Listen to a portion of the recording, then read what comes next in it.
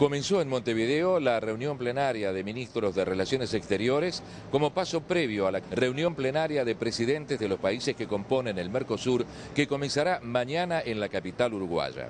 El canciller Héctor Timerman encabeza la delegación argentina, acompañado entre otros por la flamante secretaria de Comercio Exterior Beatriz Paglieri.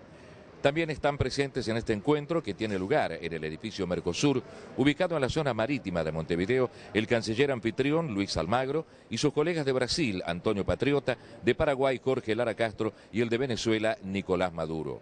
Por la tarde llegará a Montevideo el ministro de Economía argentino, Hernán Lorenzino, quien participará de la reunión de ministros de Finanzas y presidentes de bancos centrales de los países que componen el Mercosur.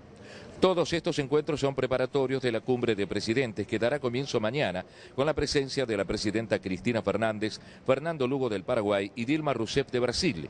Quien también confirmó su presencia es el presidente del Ecuador, Rafael Correa, quien, según se anticipó, propondrá el ingreso de su país como Estado asociado para darle al organismo una salida directa hacia el Océano Pacífico Norte. En el encuentro se efectuará un análisis de los resultados de los grupos de trabajo, suscribirán el protocolo de Montevideo sobre compromisos democráticos y un comunicado conjunto de los estados partes y asociados.